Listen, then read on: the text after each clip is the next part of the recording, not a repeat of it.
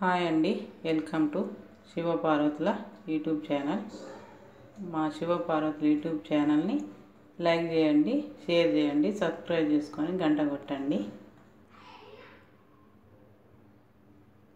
ఇది half KG chicken అండి. ఇట్లా రెండు మూడు సార్లు మంచిగా ఉప్పు వేసి కడుక్కొని ఇట్లా తీసుకొని పక్కన పెట్టుకోవాలి. హైదరాబాద్ స్టైల్లో దమ్ చికెన్ కర్రీ అండి ఇది. టేస్ట్ బాగుంటుంది. ఇట్లా స్టవ్ వెలిగించుకొని ఒక ప్యాన్ పెట్టుకోవాలండి. ఇలా ఒక ఏలకి వేసుకోవాలండి. రెండు లవంగాలు వేసుకోవాలి. చిన్నది ఒక దాచిన చెక్క ముక్క వేసుకోవాలి.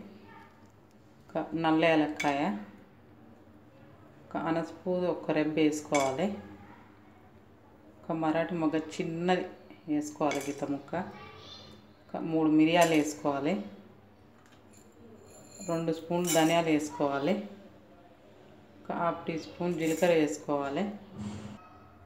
ఒక పావు టీ స్పూను సాజీర వేసుకోవాలి.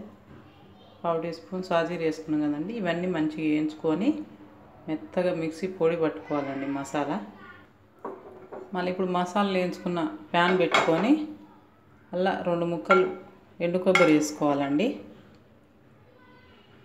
ఒక ఐదు బాదం పప్పులు పప్పు వేసుకోవాలి. ఒక ఆరు జీడిపప్పులు వేసుకోవాలి. ఇవన్నీ మంచిగా ఫ్రై చేసుకోవాలి. ఇవి మంచిగా ఫ్రై చేసుకోవాలి.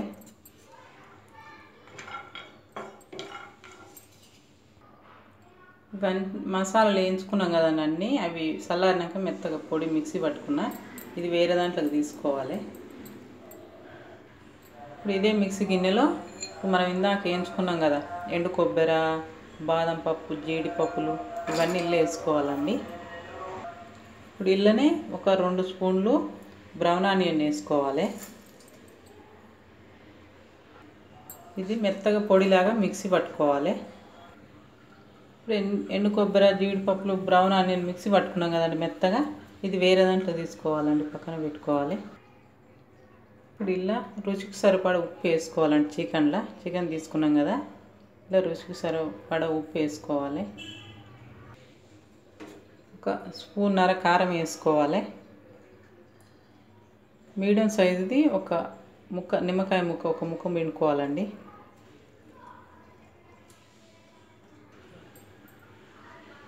ఇలా ఒక స్పూను అల్లవెల్లిపాయ పేస్ట్ వేసుకోవాలి. ఒక రెండు పచ్చిమిరపకాయలు ఇట్లా పొడుగు కట్ చేసుకొని వేసుకోవాలి. పెరుగు పోసుకోవాలి. ఒక పావు కప్పు పాలల్లా ఎల్లో కలర్ ఫుడ్ కలర్ వేసుకోవాలండి. కొద్దిగానే కొద్దిగా ఎల్లో కలర్ ఫుడ్ కలర్ వేసుకున్నాం కదండి. ఇప్పుడు ఇవి ఇలా పోసుకోవాలి. ఇలా హాఫ్ టీ స్పూన్ పసుపు వేసుకోవాలి. ఒక స్పూను కస్తూరి మెంతి వేసుకోవాలి. మనం కొబ్బరి జీడిపప్పు బాదం పప్పు ఇవన్నీ ఇవి బ్రౌన్ ఆనియన్ అన్నీ మిక్సీ పట్టుకున్నాం కదా మెత్తగా పేస్ట్ అది వేసుకోవాలి పొడి. ఇందాక మసాలాలు అన్నీ వేయించుకున్నాం కదండి. ఆ పొడి ఒక స్పూన్ వేసుకోవాలి. ఏలకులు లవంగాలు అవన్నీ వేసి మసాలాలు రెడీ చేసుకున్నాం కదా వేయించుకొని. ఆ మెత్తగా మిక్సీ పట్టుకున్న పొడి ఒక స్పూన్ వేసుకోవాలి. ఇలా ఒక మూడు స్పూన్ల నూనె పోసుకోవాలి. రెండు మూడు పుదీనాకులు వేసుకోవాలండి చుంచి. కొద్దిగా కొత్తిమీర వేసుకోవాలి. కొద్దిగా కరివేపాకు వేసుకోవాలి. ఇవన్నీ వేసినాం కదండి బాగా కలుపుకోవాలి ఇవి. అన్నీ కలిసిందాక ఒక రెండు మూడు నిమిషాలు బాగా కలుపుకోవాలి.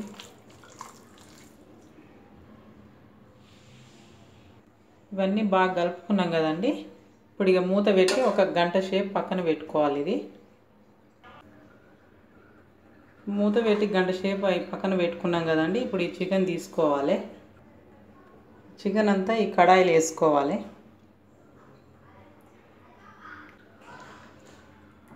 చికెన్ అంతా ఈ కడాయిలు వేసుకోవాలి.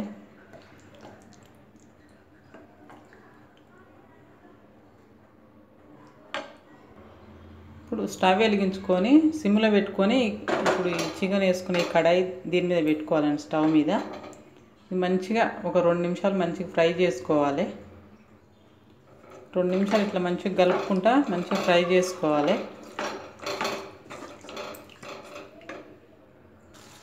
ఇప్పుడు రెండు నిమిషాలు మంచిగా ఫ్రై చేసుకున్నాం కదండి మంచిగా ఉడుకుతుంది కదా. ఇప్పుడు మంచిగా మూత పెట్టుకోవాలి స్టవ్ సిమ్ముల్నే ఉండాలి మంచిగా ఉడకాలి. మూత తీసుకొని కలుపుకోవాలండి. ఒక రెండు నిమిషాలకు మూడు నిమిషాలకు ఒకసారి మంచిగా కలుపుకోవాలి. కనీసం అర్ధ గంటన పడుతుంది చికెన్ ఉడికేసరికి. అర్ధ గంట సేపు మంచిగా అప్పుడు ఒక రెండు నిమిషాలకు ఒకసారి అట్లా తీసి కలుపుకోవాలి మాడిపోకుండా.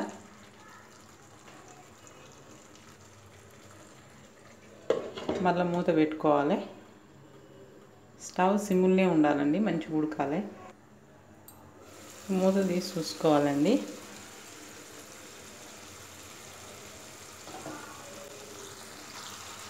ఇప్పుడు మంచిగా కలుపుకోవాలి.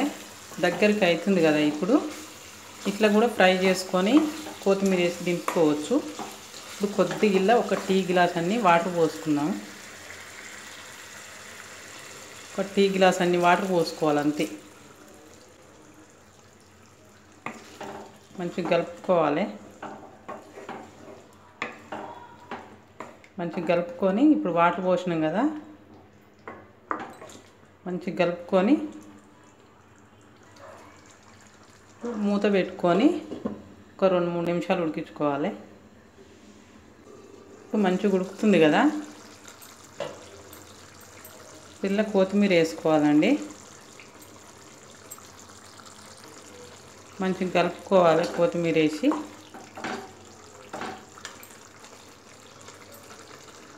మంచిగా కొత్తిమీర వేసినాం కదా రెండు నిమిషాలు ఉడికించుకోవాలి మూత పెట్టి మంచిగా.